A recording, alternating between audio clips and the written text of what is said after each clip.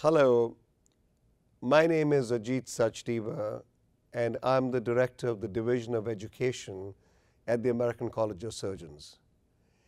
I'd like to welcome you to this new program that focuses on the latest advances in five major domains of surgery. These are general surgery, surgical oncology, surgical patient safety, critical care, and advocacy and health policy. We have pulled together this program from five sessions that were offered at the 2016 Clinical Congress of the American College of Surgeons and included presentations of hot topics from these advances over the past year.